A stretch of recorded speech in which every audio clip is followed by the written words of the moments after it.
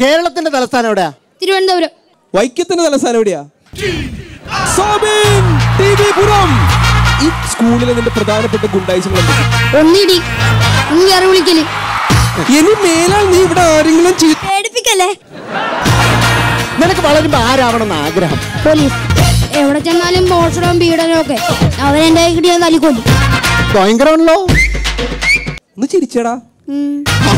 ഉടൻ പണം. സ്ലേറ്റിൽ എഴുതുന്ന പ്രായത്തിൽ ആ ടാബ്? നിങ്ങൾ കളിക്കണം? നാളെ രാത്രി ഒൻപത് മണിക്ക്.